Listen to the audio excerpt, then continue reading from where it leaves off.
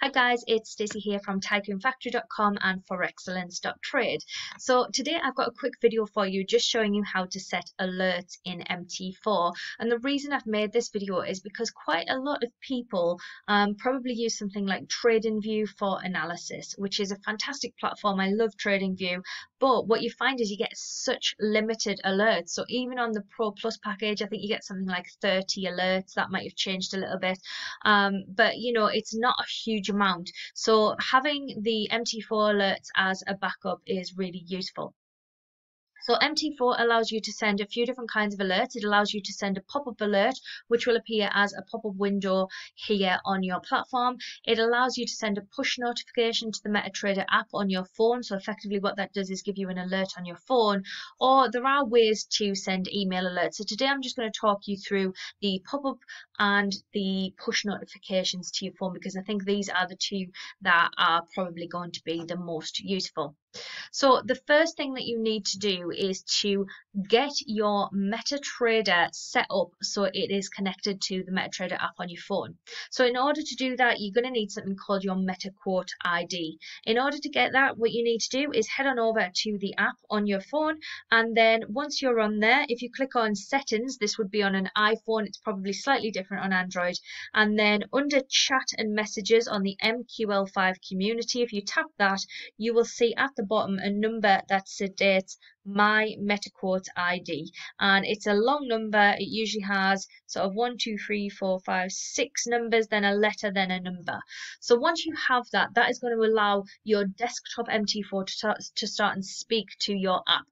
Once you have it basically what you want to do is you want to come up to the top menu in MetaTrader and we're going to go to the tools so as you can see, that's up here. We're going to tap on Tools and we're going to head on over to Options. So the section that we're looking at is the notifications section. So what we want to do first of all is to put in our MetaQuote ID in here. So what we're going to do is to enable push notifications. That's going to allow us to send notifications from here to the app. And then we're going to put our MetaQuote ID in here that we have got from our app. So you're going to add that in there. You can click test um, if you want to send a test alert to your phone if you're quite happy that that's going to work, you can just click OK and do that there. Now, as standard, whenever you set an alert on MT4, it is going to bring up the pop-up window. So you don't need to worry about that side of things. If you do want the push notifications to go to your phone, you do need to do that process that I have just explained. So you're going to, just to recap, tools, options, you're going to notifications, you're going to put in your MetaQuote ID in here, ensure both of these boxes are ticked, and then you can click OK. Just to explain a little bit about these boxes here, the push notifications is to allow the desktop to speak to your MT4 app.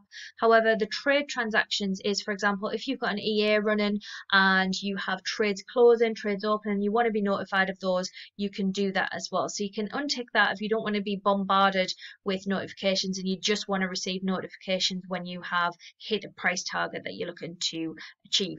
So that's how that works. So obviously you can use notifications on MT4 for a multiple uh, multiple things. You know, you can use them for when you have trades opening and closing, like I previously mentioned. What I find it most useful for is if I've run out of alerts on um, TradingView, then I can set an alert on here. Now it's not as comprehensive, so you can't necessarily uh, put an alert on if it works, if it breaks a certain indicator or something like that. Um, there are some indicators you can do that with, but the most useful one is say I wanted to set an alert when price reaches this peak here. Um, so I could literally just come over and select my crosshair tool, get that on there. So I know what that number is set at uh, 1.13345. What I then do is just right click when my arrow's on there and go to trading and then I can select alert. And what you can see is that's now placed me an alert here. And what you can do is you can move it up and down just by clicking on it and dragging it around to get it to the exact price you want.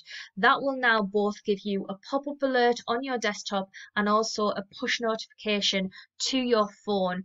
And that's going to be really, really helpful for you if you've run out of uh, alerts on TradingView, or perhaps you don't use TradingView at all and you just want to set some price alerts on here so you want to be notified when it breaks a certain fractal, anything like that it's a really handy tool um, to use for that. So I hope that's been helpful. Please do uh, subscribe if you'd like to get notified when I have more TradingView videos coming out or more trading videos.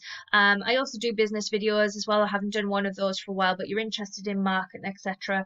That might be something that's uh, useful for you as well. So I hope that's been a help. Any questions, please ask, and I'll see you in the next video.